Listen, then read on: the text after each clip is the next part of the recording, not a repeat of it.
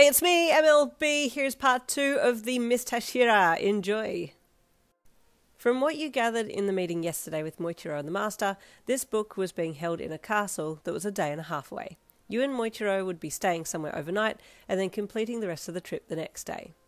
You followed behind Muichiro as he headed down the road towards the first village and sighed quietly to yourself. Oh, this would be so much better if we were at least talking along the way, you thought as your downcast gaze watched the rocks go by underfoot. Oh, you're still behind me, Muichiro suddenly said in a somewhat detached voice, and you looked up at him in surprise as he looked over his shoulder at you while you still walked. Yeah? You replied in confusion. Well, where did you think I was going to go? Um, I forgot you were there, he admitted, before looking back in front of him again. You deadpanned at his broad back as he continued to walk onwards. Great. Really? Thanks, you thought with a slight huff. You sighed and looked down at the ground, and then off to your left into the vast fields beside the road. In the distance, you could see farmers tending their crops and suddenly realized how hungry you were. You looked towards the back of Muichiro again. Hey, when we get to the first village, could we get some lunch? I'm hungry, you said. Oh, I am too, he replied, placing one hand on his stomach. He hadn't realized it until you'd mentioned it. Okay, you nodded, happy that you'd at least be eating together. It was another half an hour before you got to the first village and you stopped at the closest ramen hut with the black curtains hanging from the doorframe, but only just hanging low enough to bop you on the top of the head as you entered. Hi, Muichiro called gently as he stepped in, raising one arm up to lift the black curtains out of the way so that he could enter, but he seemingly forgot that you were behind him and he let them fall back down just in time for them to graze your head and you had to duck a little in surprise and then scowled at him. He's forgotten I'm here again, you thought with annoyance, and then spoke up as well. Hi, you called out.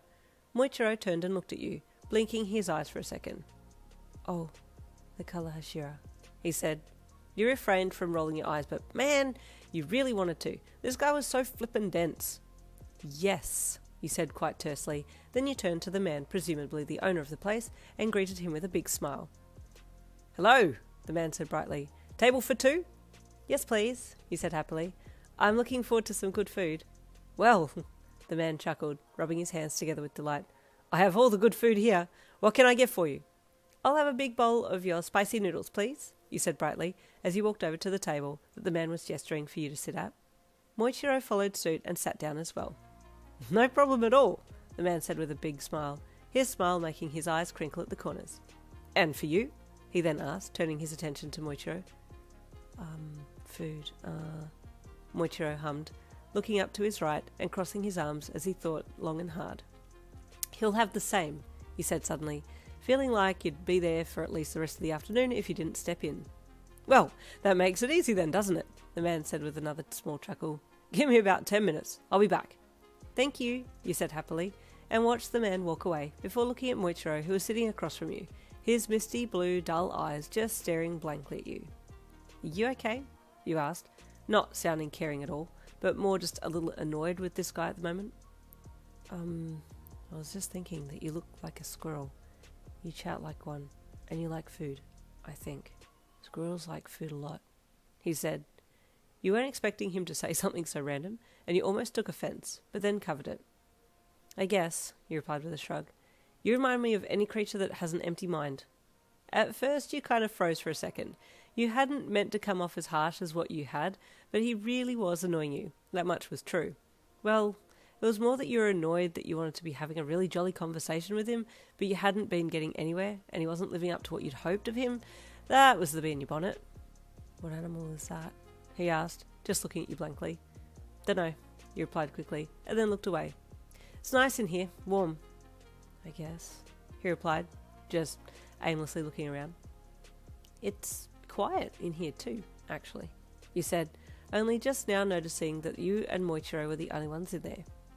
Would more people be in here around this time? It's lunchtime, isn't it? You wondered.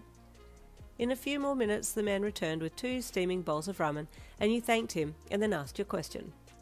Hey, um, sorry if this is a strange question, but it's very quiet in here today. Is it usually quiet in your shop around this time? You asked. Oh, the man said, initially smiling, but then the smile fading a little, even though he tried to hold it. Um, we, uh, we had a, a, an incident about a week ago, and Now people are afraid to come in here and eat. What incident was that? You asked curiously, side glancing at Muichiro, who had started eating his ramen. Oh, ah, uh, well, you see, it was a dinner shift and we were about to close up. There were still two couples in the shop and a, a demon came in. I don't need to tell you what happened next, but when I came to check on them, they'd, they'd been. His voice faded and his gaze dropped to the floor. I'm sorry, he said after a second. It's still painful to speak about. Oh, I'm so sorry, he said empathetically. I didn't mean to ask such a traumatic question. It's okay, but since then no one's been coming back in, he said sadly. I have a wife and three little ones to feed. What am I supposed to do? Your heart strings pulled, and you looked at Muichiro, who was still eating his ramen. Are you enjoying your food? You asked him. He nodded with a mouthful. Then we should help this man, you said, then turned back to the men. Sir, we'll stay in your shop tonight, and if the demon comes, we'll take him out for you. Y- you will? The man asked with surprise. But how? Who are you? We're demon slayers, he said with a smile. We were only meant to pass through tonight and keep going, but we can stay and help for one night. I, I would be most grateful, the man said, and you could hear the gratitude in his voice. If I could prove that the demon had been taken care of, then people will come back to my shop and eat again. We'll do our best, sir, he said with a smile. Thank you. I'll let you eat, and then we can talk later, he said with a genuine smile. You thanked him and then dug into your ramen, smiling to yourself while you ate. You were so into your food that you didn't notice Muichiro watching you from across the table. Yeah, like a squirrel but more kind, he said, and you stopped and looked up at him, both cheeks filled with food. Hmm? You hummed through your mouthful. That night, you and Muichiro stayed in the shop. The owner insisted that he stay too, doing work in his office, but keeping all the lights on as if he were still serving customers, just like on that fateful night. The hours ticked by, and soon it was getting close to midnight. I don't think anything's going to come tonight, but this owner feels fairly certain that the demon's been waiting for another chance to strike, but hasn't had the opportunity because no one's come back. You thought, adjusting your seat and looking across into the dull eyes of Muichiro. Is there anything going on behind those eyes? You wondered as you watched his side profile. Suddenly he lifted his head a little and got to his feet, so you followed suit. Something's here, he said softly, and you looked towards the door. You couldn't see well into the darkness outside, but you too could feel something sinister lurking around in the dark, just outside of the dimmed lights from inside the restaurant. Just then, a grotesque figure stepped into the shop, its red eyes gleaming in the semi dark of the shop. Another couple, it hissed. I hate couples. They taste terrible, but they feel so good. I do believe this is where one would say, oh no, spaghetti oh. We'll have to stay tuned for part three coming next week at the usual one shot time. I'll see you then.